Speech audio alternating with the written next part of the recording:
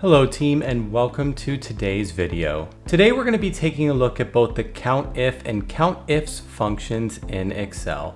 The COUNTIF function can help you determine how many cells meet a specific criteria. And with the COUNTIFs function, we can look at multiple different variables within our spreadsheet to determine how many times all criteria are met. Let's jump in.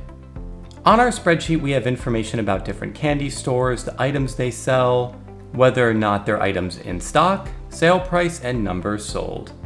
To start with the basics, let's use the COUNTIF function to determine how many times the word gummies appears within our spreadsheet for candy name. I'll begin by entering COUNTIF.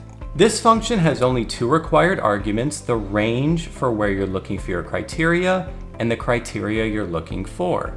For the range, I'll highlight the entire column of candy name, enter a comma, and then for the criteria, you could either type out the word gummies in quotations, or you could click a cell with the word gummies located in there. I'll close the parentheses and click enter.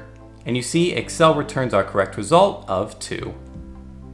Now I'd like to determine all the cells that contain the word gummies, whether it's gummies by itself or sour gummies together. In order to do this, I can again use the COUNTIF function, so I'll enter that in. The range will be the same as before, so I'll highlight the candy name column, enter a comma. This time in quotations, I'm going to enter the word gummies, but I'm also going to put the asterisk symbol around the word. This allows Excel to make a partial match and return a count of all cells containing the word gummies, even if it isn't gummies by itself. So now I'll close the parentheses and click enter. And you see Excel returns the correct result of 4. We have two cells with just the word gummies and two with sour gummies. Now let's jump into the COUNTIFs function in Excel, which allows you to test multiple variables and return a count when all those variables are met. To start off with the basics here, I'm going to look for all occurrences where the word gummies appear and those gummies are in stock at that particular store. I'll start by entering the COUNTIFs function. Like the previous function we looked at, there's only two required arguments, the criteria range and the criteria you're looking for, but remember you can continue adding variables as needed. For criteria range 1, we'll again highlight the column for candy name. After a comma, criteria 1 is that we're looking for gummies.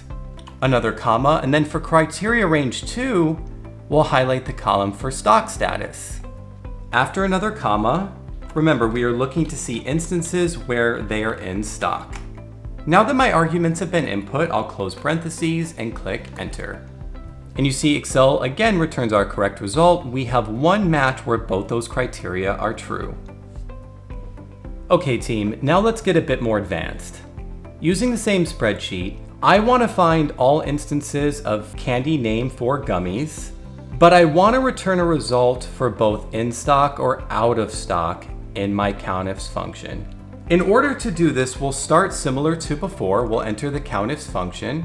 Criteria range will be, again, candy name. I'll enter a comma and enter gummies. For criteria range 2, again, we'll use the stock status. For criteria 2, we're going to be entering an array. Open up the curly brackets.